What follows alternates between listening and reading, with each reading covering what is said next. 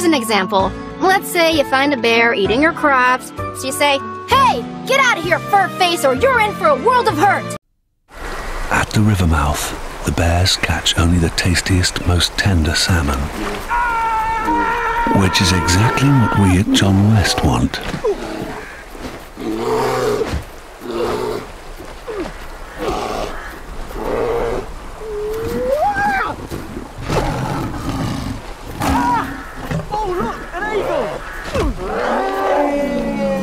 John West endured the worst to bring you the best.